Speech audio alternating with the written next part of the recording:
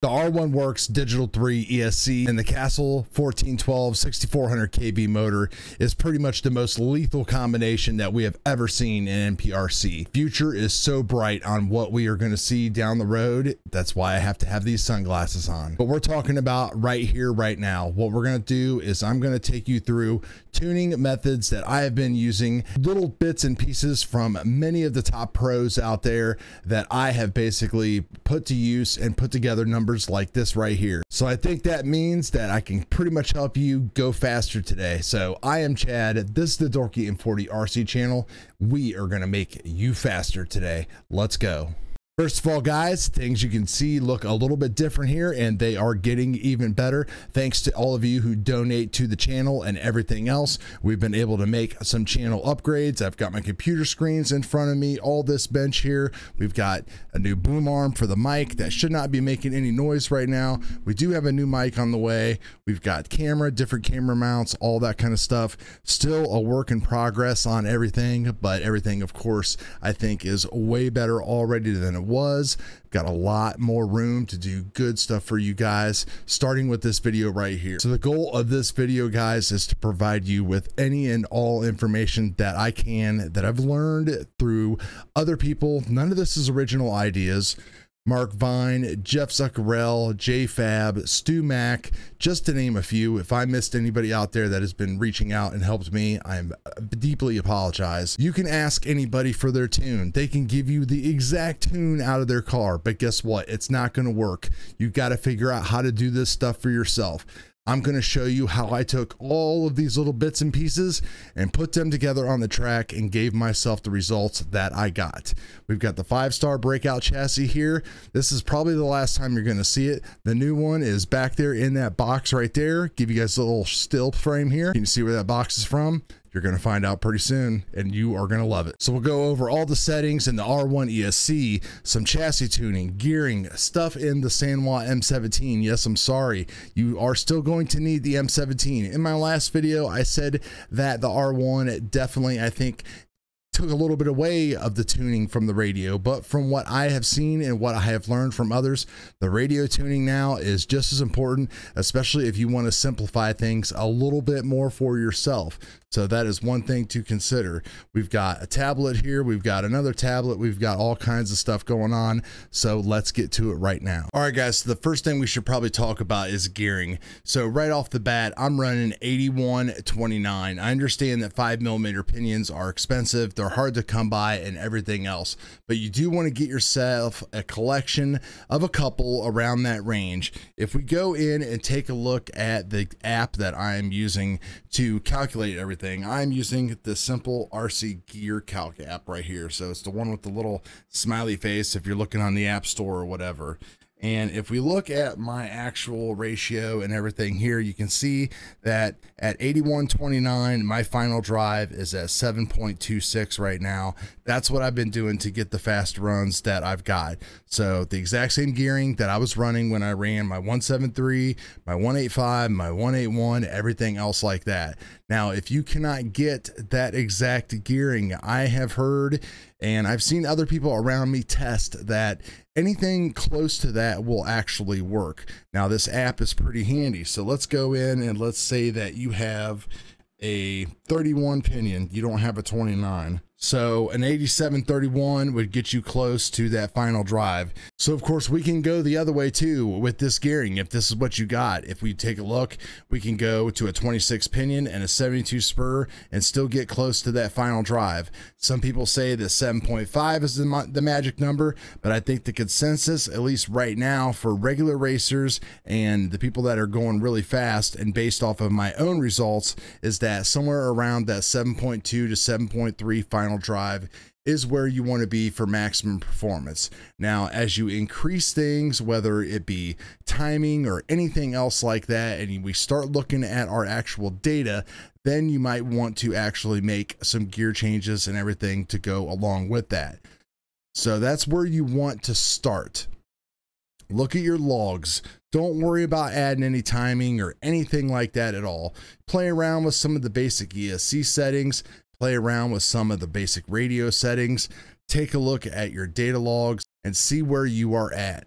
you should be somewhere around 55 to 60,000 RPMs, maybe a little bit lower with no timing at all. I mean, people are ripping off two two one no problem at all with no timing on this you got to remember most people are getting between i think 12 and about 13 degrees of timing built into the castle based off of like motorizer results so you know it's kind of a silicone lottery on how much timing you get in the can but it's okay because it's pretty insignificant, but it's there and it's something definitely to think about. So when we talk about logs, like what should your log look like ultimately when you're tuning? Well, if you look inside of the actual R1 tune, and you look at the log, it's going to look something like this. And this big top line that you see here is the amp pool, and it's pretty high. I've always wondered if my current sensor is off a little bit, but what we're actually looking at here is we're looking at a nice steady buildup, and then it just holds almost the entire time to the end of the run. So we it doesn't fall off a cliff at all. So this pink line is my RPMs that are building. We've got the throttle here going to 100% and then going to the end of the hit.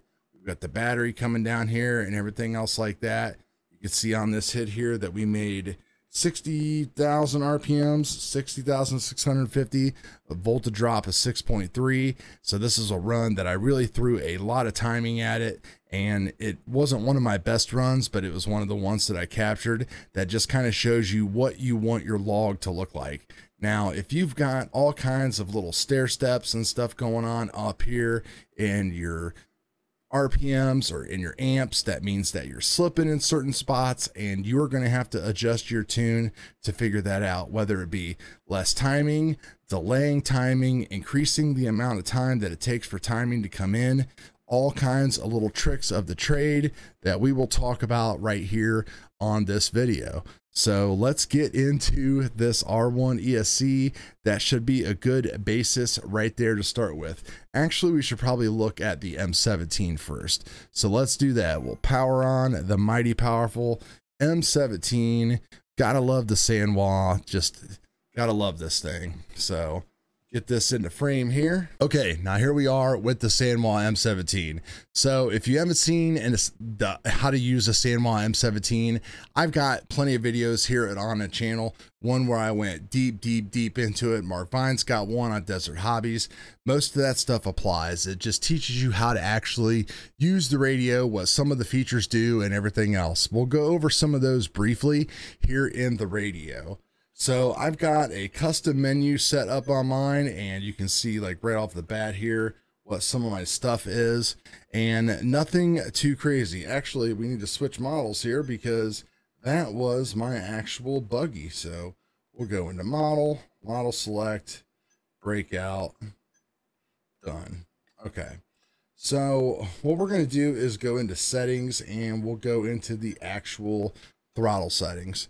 So in the, th the throttle settings here, you can see that I'm running my dual rate at 100%. Now, if you want the dual rate at 100% is pretty much what you want to run all the time. But there is a trick. If you are not, listen to this next step real quick and we'll talk about the dual rate and the EPA. So what do you want to do is ultimately on your speed i'm running you can see on this last run here i ran a minus 96 ramp. And the minus 96 ramp basically when it comes to sanwa i will show you the graph here how long it takes from when you pull the trigger to go from 0 to 100 so if i pull the trigger you can see how it ramps in and how long it actually takes. It's actually jumping over 20 real quick and then ramping to 100 at a rate of 96 and that rate again is based off of these times. Now, ultimately, some of the fastest people are able to throw down the minus 95 ramp. Now, the minus 95 ramp is more aggressive. It's 0.2 seconds faster to get you there to 100% throttle. So when you add that 0.2 seconds from the Sanwa into everything else that we're going to be doing, you can imagine how much power that is. But ultimately, if your car can take it, you want to do it. I right now have just been able to do the minus 96. I can't do the minus 95. It's too fast. The car breaks loose and everything else. But if you have a super solid chassis and you're confident in your build and you just want to go for it and not blow your and hope that you don't blow your tires off, go for it. So just go ahead and set that forward speed to minus 95.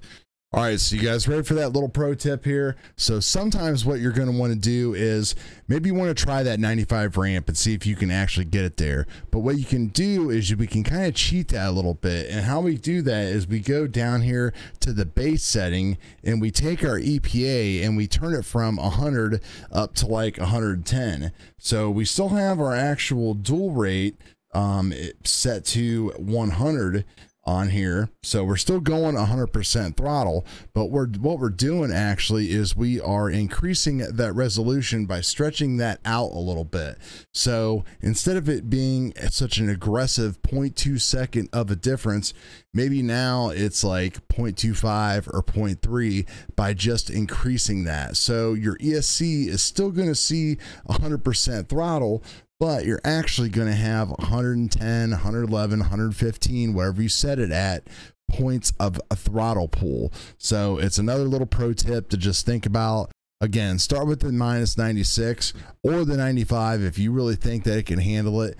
But if you want to, if you're stuck in between and you really want to work that 95 and work your way down, pump up that EPA and get it back down to like 100 and see what happens. Go for it. Now, your point, of course, we all know is how far it's going to jump over from here before it ramps in the power. And this is just talking about the SanWa. There's other things in the ESC that we can do to control that point, but we're not going to be doing any of that stuff right now at this point in the video. We're talking about just like my last tune that I put in to go 181. So it was a minus 96 ramp and a point of 10 where the pros and stuff are going is they're using um, either a 96 a 95 and of course they're going to run their point up as high as they can. So 12 15 even 20 so as much as your car can take that's what you're going to do. Now right now in this tune i am not doing any curves at all but that is a key to unlocking even more power out of this setup. So half the drivers are doing things. So a lot of the drivers out there are using custom P curves. You can either build those in the radio, in the ESC, or a combination of both. And one way is really not better than the other, at least not that I have found out. I think it's a little bit easier to do in the SanWa, even though in the ESC you do get more granular control using the touchscreen is a little difficult, especially when you got like prep on your hands and all this kind of crazy stuff tried using like the Bluetooth pencil and all that stuff for the iPad. And uh, you know, it's a little bit rough. So the radio's nice because you can just kind of dial it in and all that kind of stuff. And then you can kind of set and forget your actual ESC settings and make things a little bit easier on yourself. Take a little, take a few things out of the equation per se. So when we talk about actual custom P curves, again, this is not where you want to be right now, but this is where you so we access the custom P curve here by just going over to this exponent and changing it to curve. And what it's going to do is it's going to bring up like a nine point type of curve that you can adjust the numbers on. And basically you can see what we got going on here. We've got kind of like a steep little incline and then it kind of levels off a little bit. And then it kind of just goes all the way up to 100%. So you can build this P curve however you want to do it. The thing is, again, is that this is going to be for people that A, know what they're doing and what this does. I could explain it to you a thousand times, but you're going to have to watch this video over and over again. So make sure you do share it. And if you like this video and what we're doing, make sure you give it a like and a comment and help us promote this to other people. Share it to all of your friends, all that kind of stuff. If you appreciate what we've done here, we also have Amazon affiliate links down below that you can make purchases off of Amazon and give a little commission to the channel to help support pick up some gear here and there is that PayPal link for the donations. So let's take a look here at what we're trying to do. So most of your throttle curves, of course, are just like a straight linear line, you know, where you're at zero and you're at 100. So what the actual custom P curve you want it to look like in a way is you want it to basically start kind of level off and then go up from there to 100.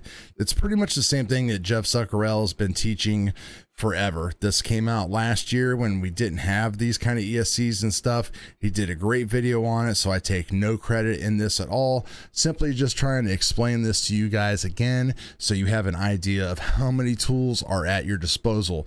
Again, I am not using the custom P curve. I really didn't have enough time to like invest into it. And in the end of the day, I didn't need to do it anyway because I found a nice smooth tune that worked. Remember, just because you can throw as much power at your car as possible and it'll take it doesn't mean that it's going to give you the best ET. Smooth is the name of the game. So if your tires aren't balanced, if you've got your body rubbing against things, everything counts when you're doing 70 plus, 80, 90 miles per hour. So you can guarantee people like Dustin, Frank, uh, dibs their cars are not doing things like this. Smashy their cars are just perfect. They looked at them constantly. So if your car is if you see tire rub going on inside your bodies and you haven't made anything to adjust that you probably better not be messing around with the, the custom p curve. But anyway we're at zero down here. We're at 100 in that Sanwa where we have the point of course your point goes along this line 0 to 100. So if you do a point at 5, it's going to start here. If you do a point, it's going to start farther up here. So basically, it's going to shift everything over. It's going to hit harder, and you're going to get to 100 even faster based on whether or not you're using a 95 or a 96 ramp. So if you do a 96 ramp, it's going to get to 100 0.2 seconds slower than it would if you were using a minus 95 ramp. But again, that is if your car can take it. Hopefully it will, and you can just put in the moon tune and go for it. But if not, start building off that 96. So, so far we've covered gearing, the Sanwa, and basic starting. So negative 96 ramp, just start with like a point of like 10. Just go from there. No custom curve or nothing else and go for it. But if you think you're a bad boy and that your car is going to take it, so start building up this custom curve and, you know, jack that thing up. Maybe you want to do your first point at like 25, then like your second point to like 30, and then maybe your third point to like 33. And then you want to kind of level it out a little bit. So you want to go to like maybe 35 ish, 36 ish, and then maybe one more that's a little bit higher, and then start ramping up from there. So it's just something you got to play with. And again, based on how long it takes you to get to half track, if you've got bumps to go through or anything else like that, that's where you're going to kind of put in those dips and delays where it's not like launching constantly because we do not need this linear. That's the point of the actual curve. It's not getting to this point faster, it's smoothing things out and making giving your car a chance to just grab a hold as hard as it can. So that way, when it hits 100%, it's all about ready for that turbo power. So let's now jump into the ESC and we will talk about some of the ESC settings. All right, so now it is time to look at the R1 ESC settings, and this is where things can get complicated. So you want to keep in mind everything that we have already talked about, and we will reference that many times. So let's go ahead and dive in here. And we're already connected to the car right next door to us here on the bench. So what we're going to do, of course, is just go into settings and I'll just give you guys the basic general stuff. I don't think there's any secrets here to what anybody is running. We're running a LiPo. We have cutoff voltage disabled. Still running 6 volts on the back, even though sometimes I would like my lights to be a little bit brighter to run 7.4, but I just leave it at 6.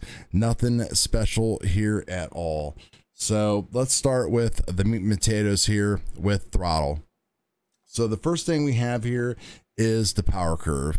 Now, when this thing comes standard out of the box, what's going to happen is you've got multiple different curves that go from zero all the way up through 10. And if you kind of see what actually happens here is that at zero, you got a little bit of bend here. So at half throttle, you're down here. You're actually at about 42% at half throttle. And as we go over to about number five here, it's going to actually hit that 50% market at that 50% mark at 50% throttle and it can keep on bending that curve up. So this curve is pretty much up to you. You can set it where you want to. I like to keep it at a neutral position, so like four or five, and that's pretty much like dead in the middle. Again, just trying to make this tune as simple as possible and give you more things to worry about. So if you put this in a linear fashion in the ESC, then you can do all of the P curve stuff that we talked about here in the M17 or you can not do the P curve in the M17 and you can actually go in here and start adding dots and moving this all around and increase and make how it goes from zero to 100% throttle however you want it to do it. So this is the way that I'm doing it right now. Some people are doing a combination of both. They're doing a custom P curve. They've got a custom curve up here where they might actually take this first point and move it up. So they're basically eliminating completely the first 5, 10, 15% of the ESC throttle pull. So when you immediately pull your trigger, if you pull it to 1%, it'll actually automatically jump up to wherever you have this first dot at. So if you watch the Desert Hobbies video and you hear Mark Vine talking about the dot and the dots and everything else like that.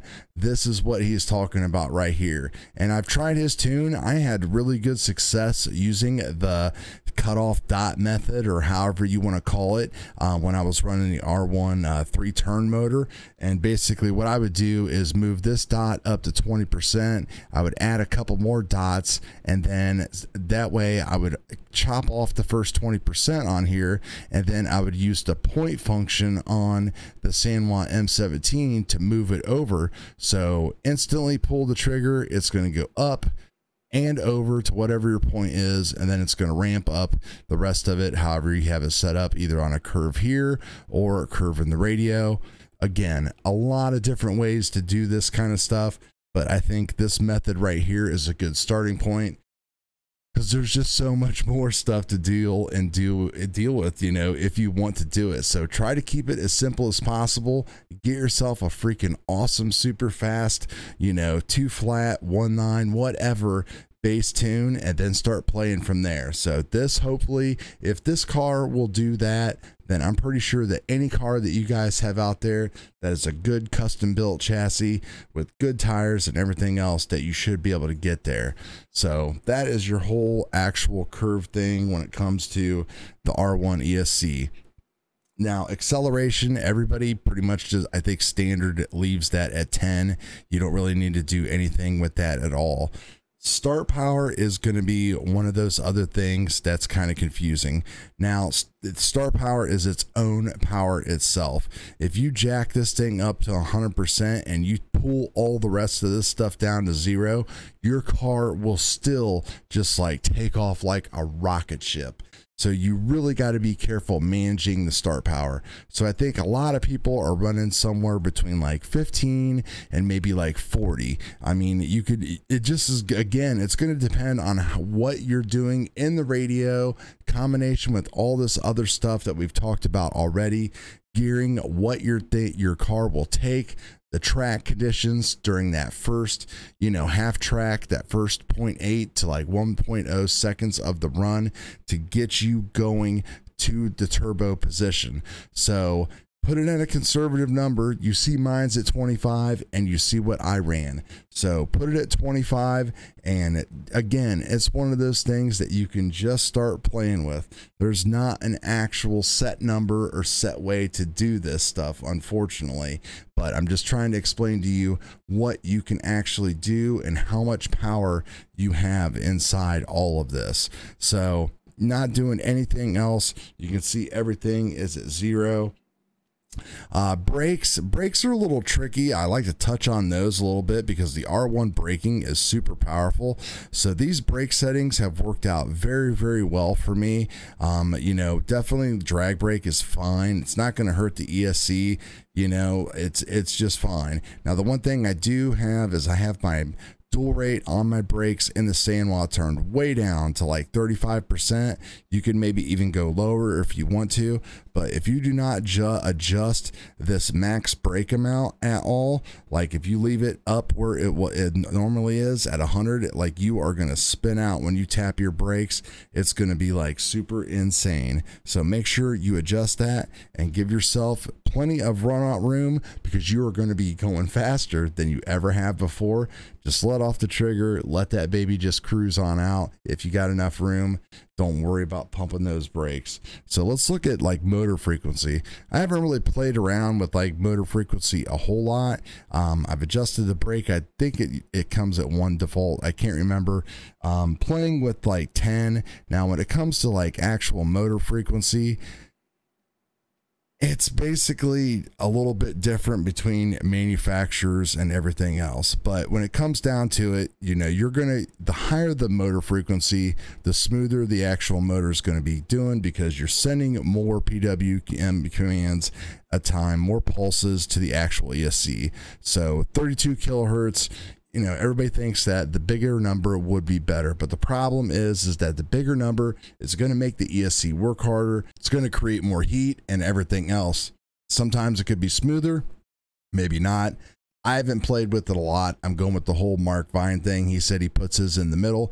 I believe if you go back and look at the desert hobby videos he had his at 12 i have mine at 10 and it's working just fine. So go ahead and do that for yourself and i think you'll be just fine right there smack dab in the middle. So now let's get into the fun stuff. Let's talk about the boost and turbo setting. And this is where things can get super crazy. So you could see the amount of timing that I've had in this last run here and all these settings. So the Castle motor system, we know that we have say, let's say 10 degrees of timing already built into the can. Castle puts 45 degrees of timing in the ESC, and that's kind of like the number that everybody just kind of goes with. So if you're worried about blowing anything up, keep it below 45 degrees on the ESC. Don't include the can. It's uh, just don't for think about it. Think 45. So whatever combination you want to do, 20 boost, 25 turbo, 25 boost, 20 turbo. No matter any way you slice this, the way that it has worked out for me is that if I put more in turbo than I do boost, I always get more mile per hour. But if I put more in boost than I do in turbo, I always get a better ET. Now it really depends on other other factors. Like there again, we have the, the theme of this video there is so many factors that you can do to this, but don't be afraid that once you get your car super dialed in and you've done everything that we've talked about before, go ahead and crank these things up. I know people that are running 40 boost and 25 turbo, people that are running 30 35. You can see I had a 30 33 in here. I actually believe this is one that that night that I mean I've ran 30 boost, I've ran 35 boost and the car has taken it before, but for some reason that night, whether it was the way that you know same surface, it was just the way that it caught or I prepped the tires or something like that that the car diffed out and I blew one of my voodoo silvers. So this did not work very well for me, but I know that I've done more in the past. So timing is safe no matter what. But if you just want to go out and start doing something you know, start with the basics. Going again with Mark Vine says the auto throttle feature built into here, where it's going to basically just apply timing automatically for you during the boost stage is it works almost flawlessly. Now, I have been playing with the actual boost by RPM. Uh, JFab gave me some numbers to try. Again, his numbers just didn't work out for me because I have to put in more work just like you do hopefully you race at the same place every time and you just kind of get a grasp for what your car does and it's capable of because you do boost by RPM, kind of like the old school Tekin thing. So you're basically saying, and you got to look at your data logs here because your boost timing when you do it by RPM, we'll go ahead and click on it here so you can see it, is that we're saying that we're going to hit 100% throttle at 30,000 RPMs. So all of this timing over here, 30 degrees, is going to come in linearly between 1,000 and 30,000 RPMs. So whether that's half track, before half track, or whatever, you need to know where this kind of stuff is happening. So again, data logging, do some runs, and see what's going on. So if you want to calculate all this stuff out, you'll take this, you'll factor it into what kind of a ramp you're using, what kind of curve that you're using, everything else that we've already talked about, and that's how you can do this and figure it out. There's not going to be a set number, and you're not going to want to take this and put it all the way to like the maximum of 60,000 because then you're never going to hit your actual turbo because I believe that this boost is basically only going to work in in this RPM range. So I'm not 100% sure on this, but I don't know why you would ever want to do it because you want all of your boost timing in before your turbo timing starts. So don't try to stretch this out unless you don't want to run any turbo. Then you could basically do like a 1000 to like 60,000 and put like 40 degrees in here and just try it that way. So that's actually uh it's actually a good idea. It's something I haven't tried yet, so gonna gonna try that next time and see how that actually works. So, but I don't really use the whole RPM by RPM thing right now. I haven't had to use it again. It's super aggressive uh, compared to what I had going on. So I like the auto throttle. The auto throttle takes all that information out of there. It's not going to apply timing when you're spinning. At least it's not supposed to. And it literally is just changing a couple numbers. So we're just going to focus on like boost for right now. So boost is applied from zero to 100% throttle. So however you have your remote your throttle curve, your start power, all that stuff set up.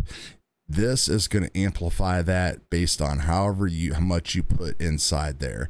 So maybe start off with something simple. I recommend starting at zero and zero again with the gearing figure that stuff out see what your car will, will do without any timing look at your temperatures all that kind of stuff get a good baseline figure out your gearing, get that like two one, two second run on that car, and then you can start playing with the stuff. And you're going to see just how much little or how much that you're actually going to need to put into here. So once you're done with that, go ahead and just start cranking it up a little bit. Again, it's all up to you, man. I, no matter either way that I've done this, again, more in boost is going to get you a better ET, more in turbo is going to get you more mile per hour when you get that perfect storm of the combination of both, that's when you light it up and you run a 173. When I ran my 173, I was running 30 boost and I was running 35 turbo. So go figure. But again, that's how you do all that right there. So the other thing that we have in here, of course, is turbo delay and turbo slope. Now, turbo delay and turbo plus slope are really going to come into the factor as far as like what your car is doing when it hits 100%. So if you look at your data log and you see all kinds of jagged stuff going on during that zero to 100% throttle stage, you know, where it was going up like that, then you need to figure out what's going on with your car, or you need to like slow your ramp down, or you need to do something in the radio or in that actual power curve or startup power to get your car locked in. Because if your car is not locked in and going straight and making good power at 100%, then you're going to have big problems when you start adding in more timing. You are just going to break loose, you're going to crash your stuff, and we do not want that to happen to you at all. So once you are super confident that you're making these awesome pulls from zero to 100%. You got your radio dialed in, you got your boost timing in there where you like it. Then you're going to start adding in that turbo timing. And then that's when we're going to look at what's going on. add the turbo timing in slowly. Start with no delay and see what happens to your car. That way, you're continuously just adding timing to it, and hopefully, it just pulls all the way. I like to run this mostly in this fashion. I do a zero on the turbo delay and then I use a one second slope. So that way I might get all 33 degrees of this if I make it before whatever the end of my run is, or I might get even less. It's just basically the whole point is it's pulling the entire time, it's adding timing, it's not trying to cram it all in there at once and everything else, and it's not gonna like cause anything super crazy. But if we go and look at the logs and we see that like the car is starting to unsettle a little bit and we're getting some jagged areas like around 100% throttle, then we might want to add in a little bit of a delay so we can let the car settle for a little bit. We don't have to worry about ba- battery voltage and stuff like that, like we used to talk about a year ago with the, the DRK, like letting the battery rest a little bit before we hit it with more timing. We don't have to worry about that anymore. We just want to make sure that our car is going straight and it is going flat and hooked and booking. So mess with your delay a little bit. Sometimes at half track to like three quarters track, you might have some bumps that are out there in there, and your car might get a little wavy and it might get a little unsettled. So you might actually need to bring this delay up like 0.2 or 0.4 seconds, just so that way you're not adding any timing when that car is going through those bumps because it's just going to break loose on you. So again, more is not, you know, less can be more. That's the key. Less can be more. So that's one thing to think about there. So the other thing to think about is how aggressive you want to put this in. Like some people will be like, I want all the timing coming in and I want it coming in as fast as possible. So I'm going to turn this thing down to like 0.3 seconds. So I'm going to dump 33 degrees of turbo in 0.3 seconds, and this thing's just going to be on a rail. Probably isn't going to work out that well for you. Again, use the tools that you have.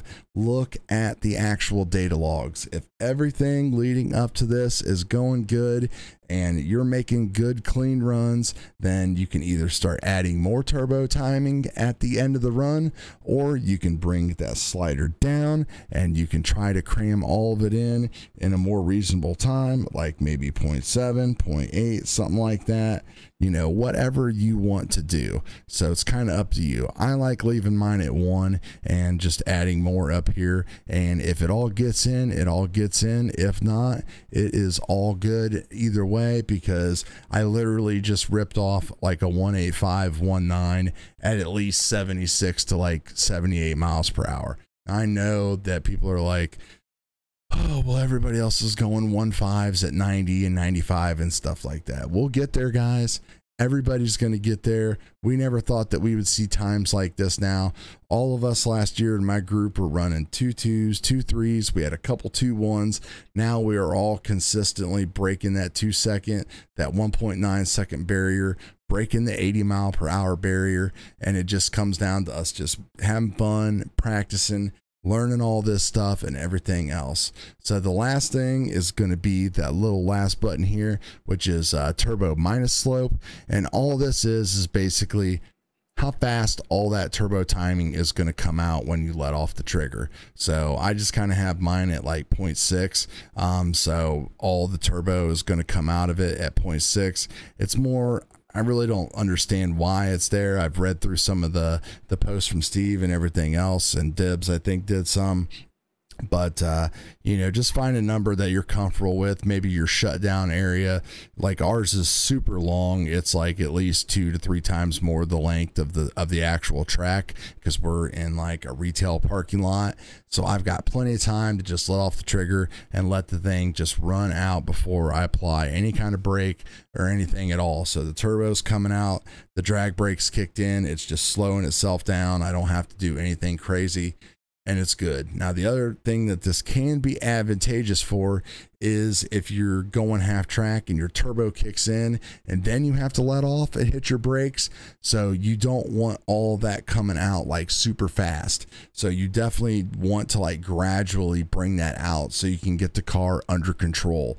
So I wouldn't put that too low. I would try to keep that up a little bit just so that way you are being as safe as possible. All right, so I've watched this back a couple times, and I really don't think there is anything else that I can add to it to let you know. I mean, I the biggest thing is like you know, I've been running on Voodoos. The Voodoo Silvers were definitely have been super fast. I've got the actual real soft Voodoo foams in there as well. I uh, just got my medium soft foams. You know, the Voodoo tires, if you can get some, they were it, the silvers going from reds to silvers, even though the reds are softer you know, now that it's hot, it seems like those silvers work a lot better here in Ohio. I mean, that was an extra three or four mile per hour just making a tire switch. So getting the car uh, balanced and set up properly, playing with your springs, soften up your rear end if you need to, and you know, seeing how things are going. You might have to start moving more weight forward. You see the whole theme with a lot of these new chassis are doing things like forward mounted servos and everything else like that, and then being able to like add brass inserts and stuff throughout the day or the night as the traction increases you're getting more forward bite and all that kind of stuff so that way you can start adding more weight and just putting the power down, man. So there's so many different ways that you guys can do with this. Let me know how this does for you and you know what your car is doing. I hope that this helps some of you guys and it just kind of clarifies everything and shows you the power of it. The Castle motor for a hundred bucks is a great investment. The R1 Digital 3 ESC is the king of the ESCs right now. It's the king of the streets. It's actually the queen of the streets and the queen of Maumee, Ohio, of the SummerSlam and everything else right now. So get yourself some R1 action going on for sure get that castle motor. If you can't get that castle motor, the R1 three turn is awesome as well almost everything here is going to apply. The gearing will be different, and you're definitely going to be throwing a lot more timing at it for sure. But I had a lot of success with that three turn R1 motor, so don't be afraid to throw one of those in there. Again, they're really cheap. If you want to go the the advanced route with like a Nick Bell or a Rockwell system, you can do something like that as well but you know again don't don't hesitate to like pick one of those things up as well. You'll be super happy. So that's it guys. I mean i don't know what else i can say but good luck. Go faster and we'll talk to you guys later. Peace